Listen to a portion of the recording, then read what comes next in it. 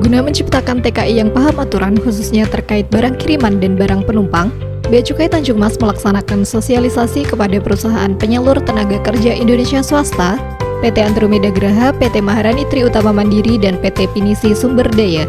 Kegiatan dilaksanakan selama tiga hari yaitu dari tanggal 28 Mei sampai tanggal 31 Mei 2018. Diharapkan dengan sosialisasi ini, tenaga kerja Indonesia dapat lebih paham aturan pengiriman dan pembawaan barang dari luar negeri, sehingga dapat meminimalisasi permasalahan yang mungkin terjadi. Bea Cukai. Bea Cukai. Dari Semarang, Mas Tanjung mengabarkan.